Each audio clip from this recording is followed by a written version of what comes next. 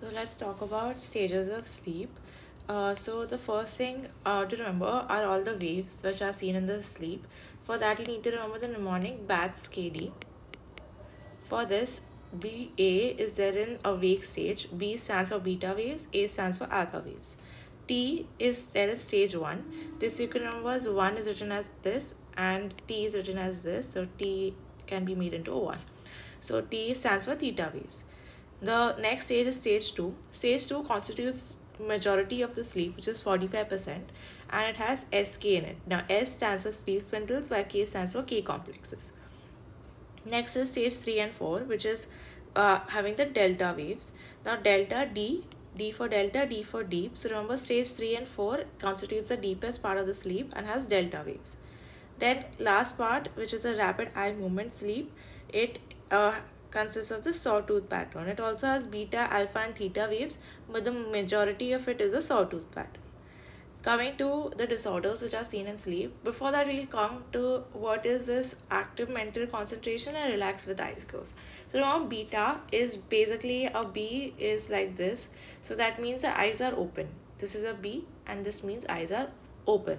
Whereas an alpha, a person who's an alpha male will be relaxed but the eyes are going to be closed. So we spoke about beta, we spoke about alpha.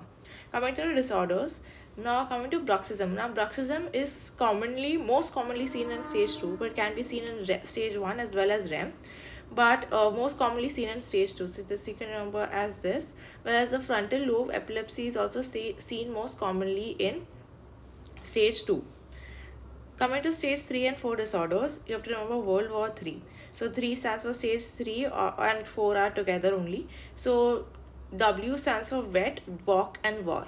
Now wet walk, wet stands for nocturnal enuresis. Walk stands for somnambulism, which is sleepwalking.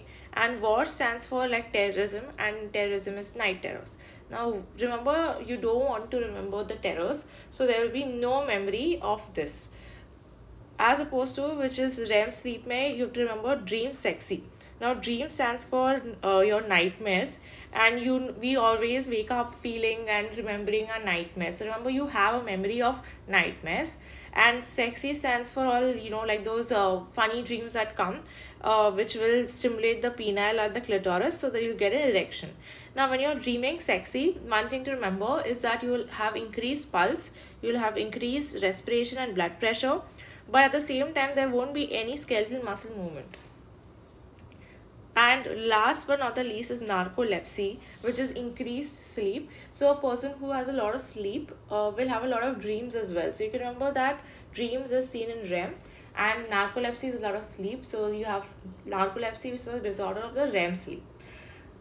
There's something called sleep talking but sleep talking is seen in all the stages of sleep so we spoke about sleep talking, bruxism, frontal lobe epilepsy. Then you have the nocturnal enuresis, sleep walking, and night terrors, nightmares and you have your erections as well as narcolepsy. Now coming to narcolepsy, narcolepsy is some sort of a disorder where there's decrease in the hypocretin levels and there's a tetrad which is a very important tetrad which is seen in narcolepsy.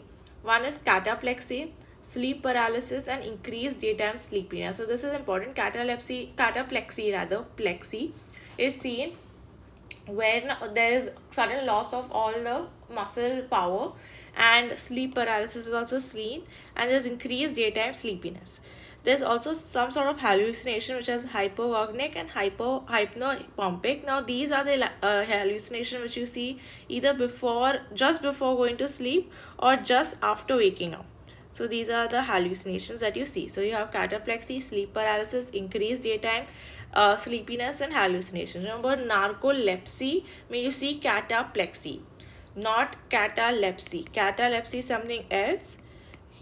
Narcolepsy, may you see cataplexy. So it's opposite. And you have the treatment which is modafinil mainly which is used which is alpha 1 receptor agonist.